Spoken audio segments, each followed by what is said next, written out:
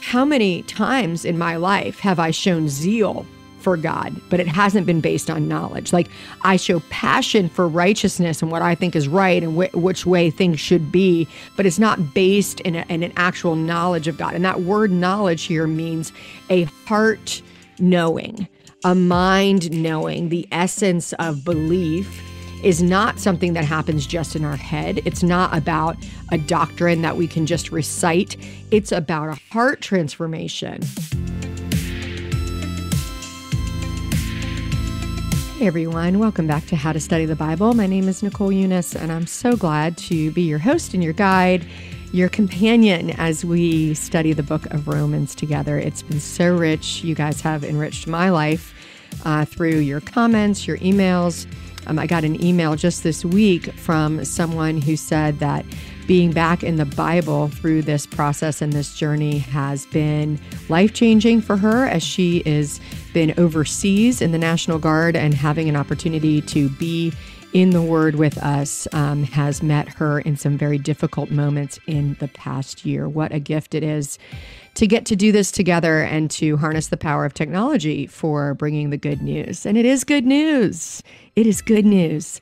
And I know last chapter, Romans chapter 9, can be difficult in that it requires us to wrestle with uncertainty and to wrestle with uh, mystery. But Romans chapter 10 brings us right around to some incredible certainty about what the good news really means. We've titled this chapter A Fork in the Road because in your reading plan that you can still join us on, still join our Facebook group if you're just joining us now, it's not too late to jump in. In the reading plan, we talk a little bit more and extensively, more extensively about the Old Testament law. But today on the podcast, I want to focus on a slightly different part of the chapter that really is the fork in the road about salvation, about the Israelites and Gentiles and who the message of the Lord is really for. So we're going to look at Romans chapter 10, verses 9 through 16. If you want to read along, if you want to pause the podcast so that you can grab your Bible, your journal, your notes, please join me uh, as we just take a deep breath and we enter into God's word together, knowing that He meets us, that His word is living and active, that God um, has affection toward us, that He is inclining himself and his revelation toward us in a way that's designed to bring us life.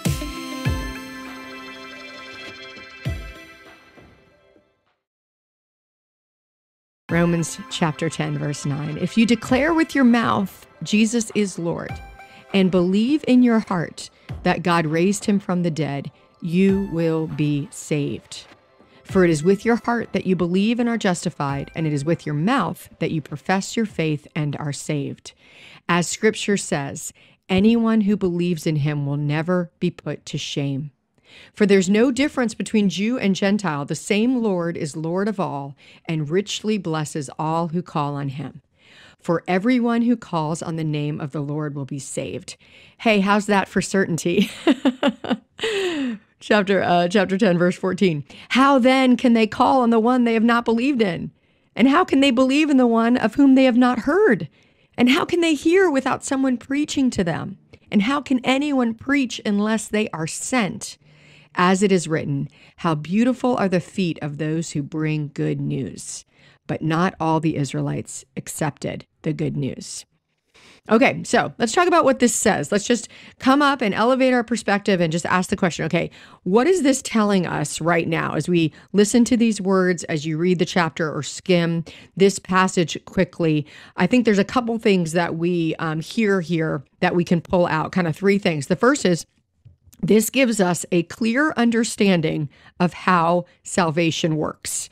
If you've ever been like, Am I saved? or you doubt your salvation, or you've tried to counsel or encourage someone who's like, I don't know if I feel like, have I done it? Is Jesus really in my heart? Am I really a Christian? This gives you a clear understanding of how salvation works. Second, this gives us a need to understand the gospel witness, meaning the story, the story of the good news.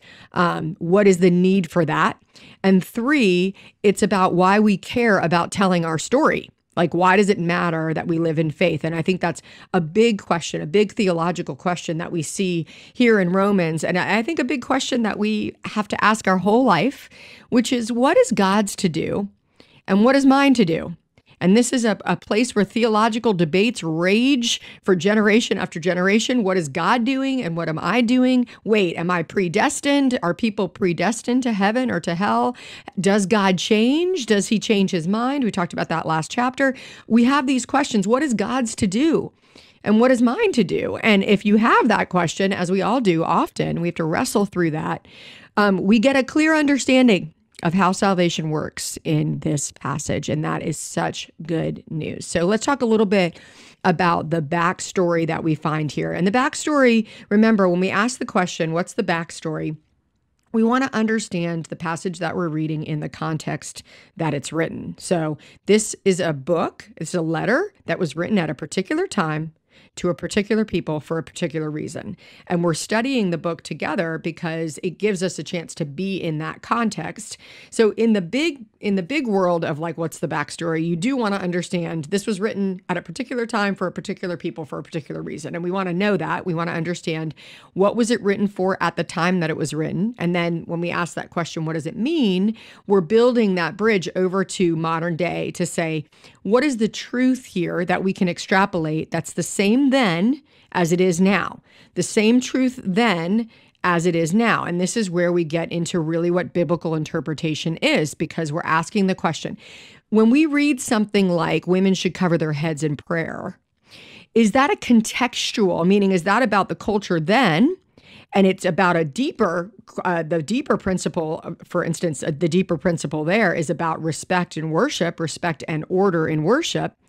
Is that's the deeper principle or are we actually supposed to cover our heads in worship? So that's a thing that goes back and forth with people all the time is how much is this is like it matters exactly the same then as it does now. And there's lots of ways that we do that.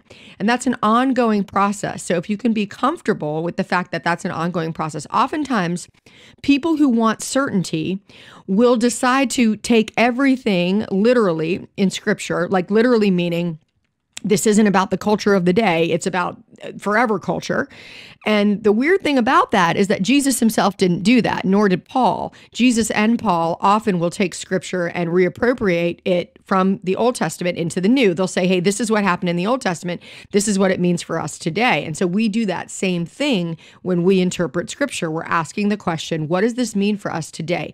It doesn't mean that we can just throw stuff out. In fact, if you just think the Bible agrees with everything that you agree with, then you may need help with your interpretation because all of us on some level should be uncomfortable with something in scripture. It should give us that pause like, okay, how do I interpret this? How do I understand it? And there's people who have differing opinions on that interpretation. That's part of being in the body of Christ. But just because there's different interpretations doesn't mean that we shouldn't apply a rigorous interpretive mind to what we're reading. And what we're doing is asking, what did it mean then? And what's the principle for what it means now? Okay, so thankfully, this week in this passage, this piece that we're reading is very clear. Like what it meant then is what it means now because it's talking about the human heart, right?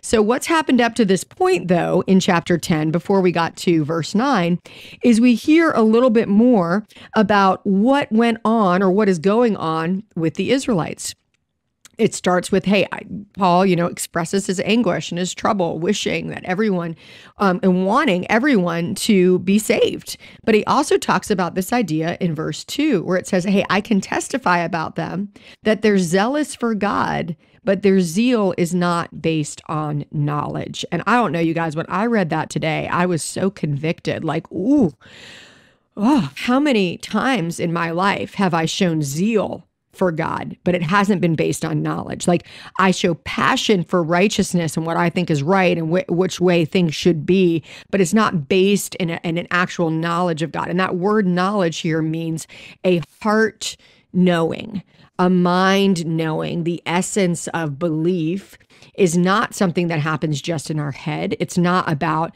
a doctrine that we can just recite. It's about a heart transformation. And that's what a deep knowing is is about an experience of a person creates a deep knowing, not an experience of facts, not just like doctrine and facts, but truly knowledge. So that's what we're talking about when we're looking at this passage is paul is grieving that there are those out there who are zealous for god but they don't live in the knowledge of god. And then he begins to lay out what that knowledge is that through christ the righteousness for all has been revealed. And there's no difference between israelite and gentile because of the way of salvation that we hear about in the passage that we read. So we want to understand that that's he's actually saying hey this has been revealed to people but not everyone will accept it. And that's true today that, that, that, God is revealing himself to people, but not everyone will accept that knowledge. But then Paul goes on with this very, very certain and optimistic, spirited passage about how we come to know Christ and what does it look like to be saved. And so he talks about this idea of if you confess with your mouth that Jesus is Lord and believe in your heart that God raised him from the dead, you will be saved. P.S. I recommend memorizing that. In fact, this whole passage, at least this first part that talks about salvation, memorizing that. We all need it. We all need this reminder. If you're not sure about your salvation, if you're like, oh, I don't know, I don't feel saved, this is your verse. This is the verse for you. This is a verse about inward belief and outward confession. Okay. And now here's a very, very important part in the backstory this idea of heart. Okay. So it says, if you confess with your mouth that Jesus is Lord, that's easy to understand. Like we can do that. If you believe in your heart that God raised him from the dead, right? So, what does the heart mean? In biblical terms, when the heart is used in the Bible, it's not just about emotion. It's not about how you feel. It's about an inward conviction, your intelligence, and your will. So, setting your will toward a truth. So I'm going to I'm going to will myself toward a truth. I'm going to turn my body, I'm going to turn my heart and turn my mind toward a truth. And my feelings will follow. If you're going to sit around just hoping that you feel sort of saved, redeemed, not guilty, unashamed, just hoping that that feeling is actually telling you that you're a Christian, you're going to be buffeted back and forth by the winds of your emotions. Your feelings are going to take you back and forth and and then you're going to feel very insecure in your faith. But when you understand that when the Bible talks about the heart, it's talking about a fully orbed will. Like I am going to believe this. Okay. Now, eventually your emotion follows, eventually, but the battle of our heart is often played out in our emotion. That's the place where the enemy whispers from our past and whispers shame and insecurity in fear into our mind. And we have to do the work of having our mind transformed. Romans chapter 12, we'll get to get to that soon, of having our minds transformed to be conformed into the image of Christ. So if you're waiting for your feelings to tell you that you're saved, you're going to be disappointed. Or or if I even more importantly, you're going to be maybe fine today and disappointed tomorrow. You're going to be waffling back and forth. But if you understand that to be saved is to state an outward confession, I believe that Jesus is Lord, Jesus is the Lord of my life. And to have an inward conviction, to set my heart to say, I believe that God raised Jesus from the dead then you're saved. That's the whole thing. Isn't that great? Isn't that so great? So, yes, is the Bible deep and full of nuance and story? Yes. Is there so much for us to discover? Yes. Is it hard to understand how to be saved? No, it's not hard to understand how to be saved. That's what I love about the book of Romans is we've got over and over again. I mean, Paul says it three different ways. He's like, listen, everyone who calls on the name of the Lord will be saved. If you confess with your mouth, you will be saved. Anyone who believes in him will never be put to shame. Those are just true statements. It is with certainty that you can understand that. And if you're listening right now and you're like, have I done that? Is this just a faith by osmosis? I'm just exploring. Today is the day. This moment is the moment. This is the moment where you can set your will and say, Yes, right now, out loud, I'm going to say, um, God, I confess that Jesus is Lord and that Jesus is Lord of my life. I'm going to, I want to, I'm going to live as Jesus is Lord of my life. I'm not Lord of my life anymore. Jesus is Lord of my life. And the second thing you do is that this belief in your heart that Jesus, God raised Jesus from the dead. Like God proved his love for us and he proved his power over sin and over our sin through the sacrifice of his son. Jesus Christ went to the cross where he did the work of being the ultimate sacrifice for us, past, present, and future, all of our sin. And not only that, it wasn't just a death. It wasn't just like, oh, Jesus is going to sacrifice for us, end of story. No, actually, the death resulted in a resurrection, just as it will for us. So when we say in our heart, I believe that God raised Jesus from the dead, what I'm saying is, I believe it's possible to be raised from the dead. I, I believe in resurrection. I believe that this isn't the end of the story. I believe that Jesus has made a way for me to be at eternal peace with my Father in heaven, that there is there will be a day when every knee will bow and every tongue will confess that Jesus is Lord because it's just an ultimate reality that Jesus is Lord. The question is, do I want to turn my will toward that truth? And that's what it means to be a Christian. So if you've done those things, if you've said, Yes, I'm saying with my mouth, even right now, say it out loud in your car, say it out loud in your kitchen. I believe Jesus is Lord and Jesus is Lord of my life. I take myself off the throne of my own lordship and I put Jesus as Lord of my life. I am here to serve him. And I believe that God raised Jesus from the dead, which means I believe in resurrection. I believe that Jesus has done something that no man has ever done. And in doing so, he has made a way for all of us to be resurrected. And if you want to take it even further, I mean, the fruit of that belief, guys, do you know what the fruit of that belief is? We don't have to live in fear. We don't live in fear of death. We don't live in fear of trouble. We don't live in fear of turmoil. We don't live in fear of relational death or, or physical death because our spiritual life is secure and eternal. Now, does that mean it's still scary and troubling and hard to live in this world? Absolutely. But there's a way big difference between, man, gosh, I'm, I'm struggling today, Lord. I believe in you and you can you can strengthen me. There's a huge difference between that and actually embodying the fear of death in your life. the fear that you have to protect and control and tribalize and secure all of your stuff because everything could be taken from you. No, the thing that is most important to you, your soul can never be taken from you when you have confessed that Jesus is Lord and when you believe that God has raised him from the dead. I didn't mean to say all that, y'all, but somebody needed that today. And if that's you and you needed that today, I want you to know that the power of the Holy Spirit is speaking to you today. This message is for you. And for the rest of you who know Jesus as Lord and you're just encouraged to hear this, the next part of this passage is for you. I love this next part of this passage, which is like, look at this good news. But how will people believe it if they don't hear it? And how will they hear it if people aren't out there doing it? And how are they out there doing it if they're not sent out to do it? This is really the the crux of the understanding of why we tell our story why we believe that it is important to witness to our faith, that we aren't just like pawns in God's game and God's just moving pawns around the board and we're not part of it. He's actually inviting us to be part of it. He's saying, You are a part of it. The way that the gospel is moved forward in the world is story by story by story. It's your story told to another because your feet are proclaiming the good news where you go. And your faith is built on the story that somebody told you. And what I love here that Paul quotes, he quotes from Isaiah when he says, How beautiful are the feet of those who bring good news. So this is where it's in, um, I'm sorry, verse 15, where it says, How can anyone hear if no one's preaching to them? And how can anyone preach unless they are sent? As it is written, How beautiful are the feet of those who bring good news. This is from Isaiah chapter 52, verse 7. Here's the whole verse. How beautiful on the mountains are the feet of those who bring good news, who proclaim peace, who bring good tidings, who proclaim salvation, who say to Zion, Your God reigns.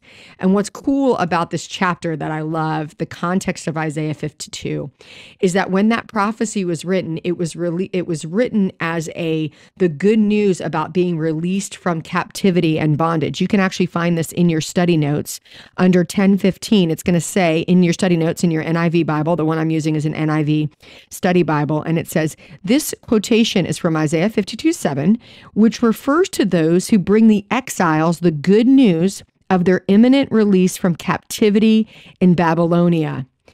Here it applies to gospel preachers who bring the good news of release from captivity to sin. See, this is what the good news is. When we talk about the good news, what we're seeing here is that the good news of salvation is equivocated to the good news in the Old Testament of being released from captivity and bondage.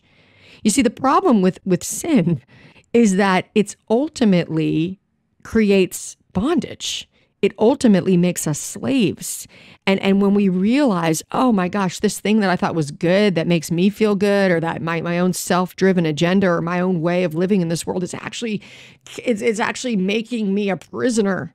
And I'm, I'm so trapped by this insecurity, this anxiety, this fear, this greed, this guilt, this this people pleasing, whatever the thing is and that the actual good news is released from captivity from that. And P.S. Don't for a minute think that when it says gospel preachers, it means people that have been to educated, you know, been educated in seminary and who are paid to preach the gospel. This is talking about everyone. Every one of us who's received the gospel is called to preach the gospel. Now, does God lay, set people apart as teachers? Absolutely. Should we support those people? Does God call people to be missionaries? 100%. Should we support them financially with our prayer? Yes. But this is not a pass for all of us because anyone who's heard the good news should proclaim the, the good news because that's how the good news goes to the world. That's what God is telling us in this chapter.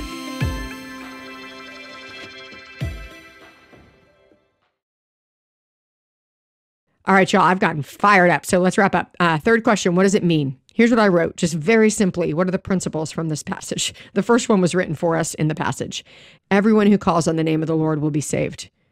Oh, isn't that just such good news? It's the same good news then when this was a letter written to the Romans in the early church. It's the same good news for us today in 2021. It will be the same good news that will be proclaimed until Jesus comes again. The second thing, the second principle I see at play here in this passage is we have the honor of being part of the work of sending and proclaiming so that those can hear and believe. We have the honor of being part of that work. God calls us to that work. In his mystery, he invites us into the process. So, what does it mean for me? So, I've written kind of two questions to wrap up that I'm asking myself uh, from this chapter, and I would encourage you to ask yourself as well. The first one is this Am I guilty of having zeal without knowledge? And what I mean by knowledge, remember, is that deep heart knowing, heart knowledge of my own freedom from captivity. The minute we start having zeal that isn't connected to our own heart knowledge of the way that we ourselves have been children of wrath, the way that we ourselves have been, been in bondage to sin, when we disconnect those two things, what enters in is self righteousness. What enters in is judgment and pride. And so we have to ask Am I a person who has zeal with heart knowledge about the way that God has saved me? And I want to keep those coupled together. And then my second question is this Have I thanked God recently for bringing me the good news? Have I honored the people in my story who have been a part of bringing me the good news? Maybe there's someone that you want to reach out to today, that you want to thank, that you want to send a text maybe even write a note to say thank you for living a life, living a gospel life that helped me come to know the gospel. Because that's the way our faith is built. And that's the way our faith begins. And that's the way someone else's faith will begin when you yourself embody that sharing heart knowledge of what it means to be saved. Go in peace, everyone. Talk to you next week. Thanks for listening to How to Study the Bible with Nicole Unice, a production of lifeaudio.com and the Salem Web Network. This episode was produced by Kelly Givens and our executive producer, Stephen McGarvey, and edited by Stephen Sanders. If you enjoyed what you heard today, we'd love for you to head over to your favorite podcast app and leave us a review. It really does help people find us. To learn more about Nicole, you can check out her website at nicoleunice.com. Her book on how to study the Bible is called Help, My Bible is Alive. And you can find a link to that, plus a link to Nicole's site, in today's show notes.